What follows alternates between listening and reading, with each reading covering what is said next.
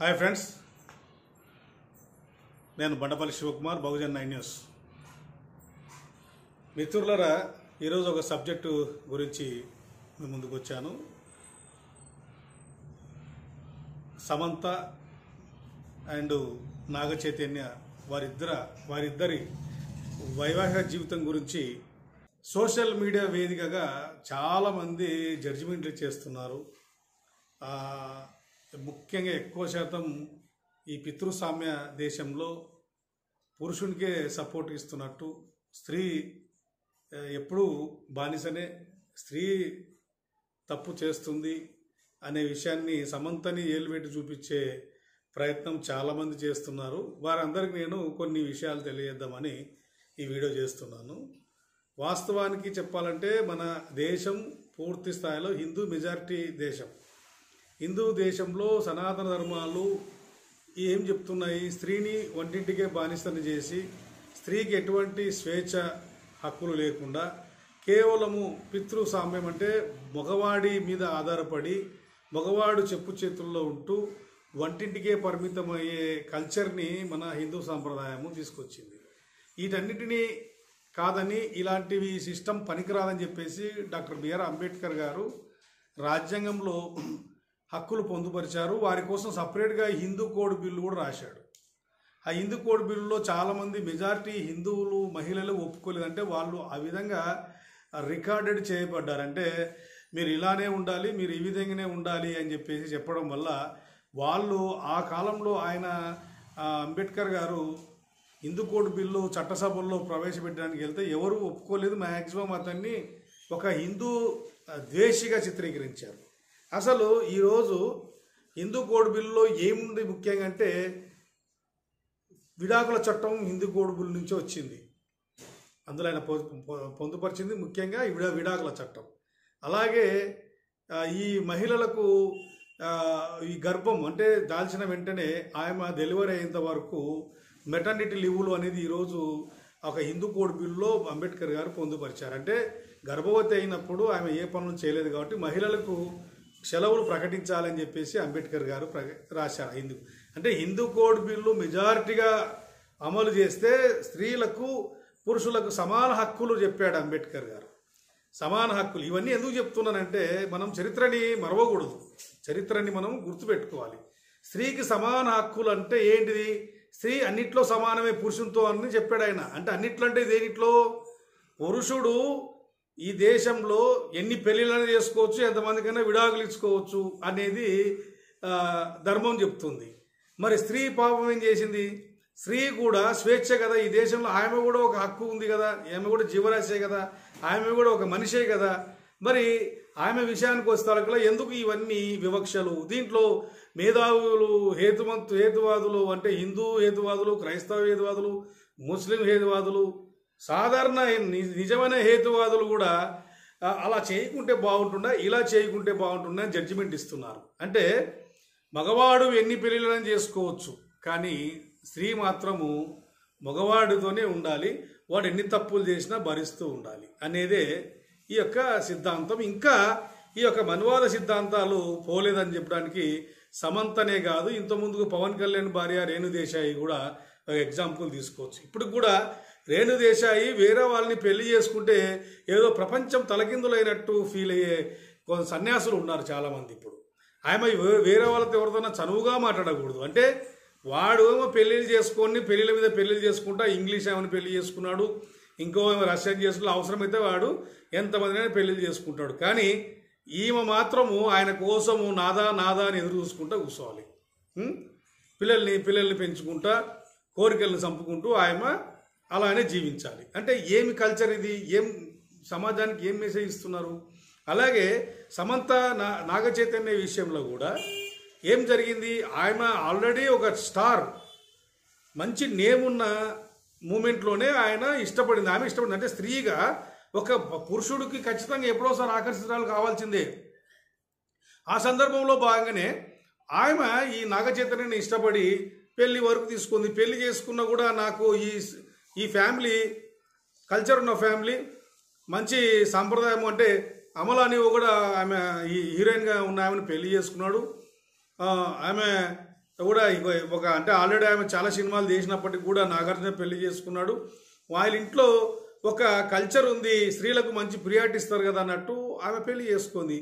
ఆ తర్వాత ఆమె సినిమాలు ఎక్కడ ఆపలేదు. సినిమాలు చేస్తూనే ఉంది మార్కెటింగ్ ఆమెకు ఉంది కాబట్టి చేసుకోవాలి ఆమెకు టాలెంట్ ఉంది అవకాశాలు వస్తున్నాయి. కాబట్టి చేసుకోవాలి. అయితే ఇందులో పెళ్ళి కాకముందుకు ఆమె ఏం చేసినా కరెక్టే. పెళ్ళి అయిన వెంటనే నువ్వు ఇలానే ఉండాలి అని జడ్జిమెంట్ ఇవ్వడం ఎంతవరకు కరెక్టు? ఆమె ఆల్రెడీ సినిమాలు తీస్తున్న హీరోయినే కదా. ఆమె అప్పటికే ఎక్స్పోజింగ్ చేసిన ఎక్స్పోజింగ్ చేస్తున్న హీరోయినే కదా. ఒక పాత్ర పరంగా ఆ పాత్ర డిమాండ్ చేస్తే ఆ పాత్రకు న్యాయం చేయాలి కాబట్టి ఖచ్చితంగా ఆ పాత్రను అనుకూలంగా నటించాల్సి వస్తుంది. కొన్ని పాత్రలు నిజ జీవితంలో జరిగిన సంఘటనల ప్రకారమే సినిమాలు వస్తాయి. ఆ పాత్రలో ఆ సన్నివేశాన్ని ఖచ్చితంగా నటించాలి. అందు నువ్వు పెళ్ళయిందా పెళ్ళి కాలేదా?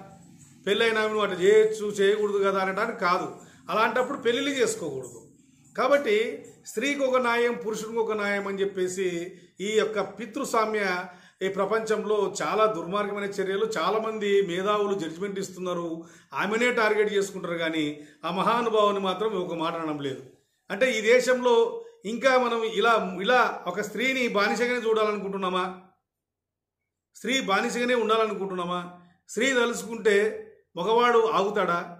స్త్రీ తప్పు చేయాలనుకుంటే మగవాడు కాపలా కాస్తాడా? కాబట్టి ఇప్పటికి కూడా స్త్రీలని ఇంకా వివక్షతోనే చూడడం చాలా దుర్మార్గమైన చర్య.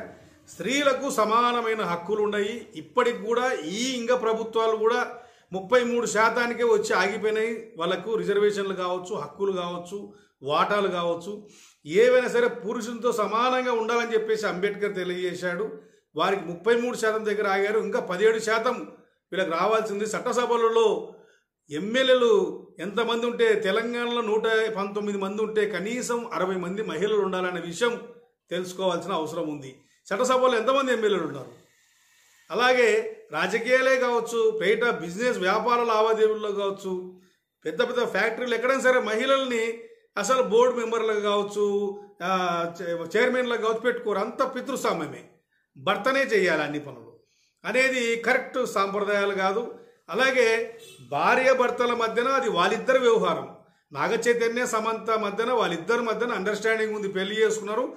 అండర్స్టాండింగ్ లేక విడిపోతున్నారు. ఇంకొకరితో అండర్స్టాండింగ్ ఉంటే వాళ్ళు పెళ్ళి చేసుకుంటారు. అది వాళ్ళ ఇంటర్నల్ వ్యవహారం. అంటే ఈ దేశంలో స్వతంత్రం ఉంది హక్కు ఉంది స్వేచ్ఛ ఉంది. దీని వాళ్ళ జంటను ముడిపెట్టుకొని మాకేదో అవుతుంది మా కల్చర్ దెబ్బతింటుంది స్త్రీలు చెడిపోతారు అంటే ఇక్కడ వీటన్నిటిని కాదని అంబేద్కర్ గారు పరిపూర్ణమైన స్వేచ్ఛ ఇచ్చాడు. ఇదంతా ఈరోజు విడాకుల చట్టము అమల్లో ఉందంటే అది అంబేద్కర్ గారు కల్పించిన హిందూ కోడ్ బిల్ నుంచి వచ్చిన చట్టమే. హిందూ కోడ్ బిల్ రాసిన తర్వాతనే ప్రభుత్వాలు అప్పుడున్న కాంగ్రెస్ గవర్నమెంట్ నిర్ణయాలు తీసుకోవడం మొదలుపెట్టింది. ఇవన్నీ మనం గుర్తుపెట్టుకోవాలంటే స్త్రీని కేవలము ఈ యొక్క సినిమాలలో లేకుంటే సముద్రాల పేర్లు గాలి పేర్లు అంటే ప్రకృతి పేర్లు పెట్టి వాళ్ళని ఎంతసేపు ఉన్న పైరగాలి రకరకాలుగా అంటే ఏదన్నా మంచి సుగంధమైన రొమాంటిక్ దానికి సంబంధించిన పేర్లు ఆడవాళ్ళకి పెట్టి రౌద్రానికి వీరత్వానికి పురుషుని పేర్లు పెట్టి అంటే వీళ్ళు ఎంతసేపున సెన్సిటివ్ క్యారెక్టర్లు వీళ్ళు కేవలం ఇంటికే పరిమితం కావాలి వీళ్ళు ఏమి శాసించకూడదు వాళ్ళు ఏమి సొంత స్టెప్పులు తీసుకోకూడదు వాళ్ళకి ఒక వ్యక్తిత్వం అంటూ లేదు. వాళ్ళు కేవలం బానిసలు అనే కల్చర్ ఏది ఏదైతే ఉందో అది పూర్తిగా తుడిచిపాడేయాలి. ఈరోజు సమంతనే కావచ్చు ఇంకో ఇంకో ఇంకేమే కావచ్చు రేణుకా కావచ్చు రే ఇంకెంతమంది సరే స్త్రీలు వాళ్ళ ఇష్టం. వాళ్ళిద్దరి మధ్యన భార్యాభర్తల మధ్యన అవగాహన కరెక్ట్గా లేనప్పుడు విడిపోవడానికి కూడా తప్పు లేదు. అలా అని విడిపోయిన తర్వాత ఈ పిల్లల సంరక్షణని బయట ఎక్కడైనా సరే వాళ్ళు ఎవరెవరు తీసుకొని మిగతా పెళ్ళిళ్ళు కూడా చేసుకోవచ్చు. ఈ దేశంలో కేవలం భర్త వదిలేసిన తర్వాత ముండమోయాలి తెల్లబట్ట తెల్ల బట్ట కట్టుకొని తిరగాలి బొట్టు పెట్టుకోకూడదు అనే కల్చరు పోయింది.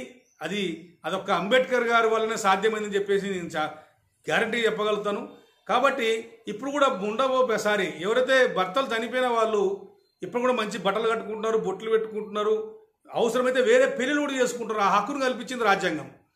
కాబట్టి ఇప్పుడు ఇదేదో పెద్ద నేరమైనట్టు ఇదో తప్పైనట్టు అసలు ఇలాంటిది ధర్మానికి వ్యతిరేకం అన్నట్టు ఏదో పూర్తిగా వీళ్ళు ఈ సోషల్ మీడియా జడ్జిమెంట్లు ఇస్తున్నారు చూడు చాలా దుర్మార్గమైన చర్య. అయ్యా ఎవరైనా సరే రేపు పొద్దున నీ దాకా వస్తే నువ్వేనా అదే పని చేస్తావు.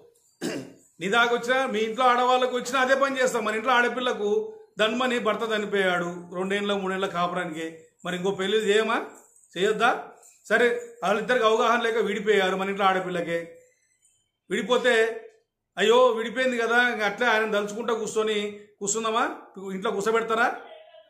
కాబట్టి మీ ఇంట్లో ఓ న్యాయం బయటకు నాయం న్యాయం అంటే ఎట్లా? వాళ్ళ ప్రొఫెషన్ వాళ్ళు సినిమా తారలు సినిమా తారలు అంటే పాత్ర పరంగా వాళ్ళు ఊరికే బట్టలు ఇప్పుతారా ఊరికే డ్యాన్సులు వేస్తారా? ఆ పాత్రకి డిమాండ్గా దర్శకుడు ఆ నిర్మాత నిర్మాత కోట రూపాయలు పెట్టుబడి పెట్టి తన సినిమా నడవాలనుకుంటాడు చెడిపోవాలని ఎవడు అనుకోడు. సినిమా నడవాలనుకొని వచ్చినప్పుడు ఆ కథని ఆ కథ పరంగా అనుకూలమైన సబ్జెక్ట్ని వాళ్ళు తయారు చేసుకున్నప్పుడు ఆ పాత్రని క్రియేట్ చేసుకుంటారు. ఈ హీరోయిన్ ఈ విధంగా ఉంటేనే ఆ సినిమాకు పాత్ర అని ఆ పాత్ర అనుగుణంగానే వీళ్ళు రాసుకోవాల్సి ఉంటుంది కాబట్టి అందుకే వాళ్ళు నటీనటులు నటిస్తారు. నటన అంటే నటించడం జీవించడం కాదు. అది నటన వారికే ఉంటుంది. జీవితంలో వాళ్ళకి ఆ ఒడిదొడుకులు ఉంటాయి కాబట్టి వాళ్ళ అనుగుణంగా వాళ్ళు ముందుకు పోతుంటారు. మనం దాంట్లో పోయి బట్టలు దించుకోవాల్సిన అవసరం లేదు. వాళ్ళ వ్యక్తిగత జీవితాలకు మనకు అనవసరం. వాళ్ళ స్వేచ్ఛ వాళ్ళకు ఉంది వాళ్ళు ఇంకో పెళ్ళి చేసుకుంటారు. అవసరమైతే ఇంకా ఇంకా ఇంకైనా చేసుకుంటారు. వాళ్ళ ఇష్టం అది. వాళ్ళకి మనం ఏమి ఇచ్చేది లేదు వాళ్ళు మనకి ఇచ్చేది లేదు. కాబట్టి ఒక ఒక ఒక మన ఈ ప్రపంచంలో ఒక చట్టపరిధిలో మనం వెళ్తున్నాం కాబట్టి చట్టాలను గౌరవించుకుంటూ హక్కులను గౌరవించుకుంటూ ముఖ్యంగా స్త్రీలకు ఉన్న హక్కులని హరించవద్దని చెప్పేసి తెలియజేయడానికి నేను ఈ వీడియో ఇస్తాను thank you all of you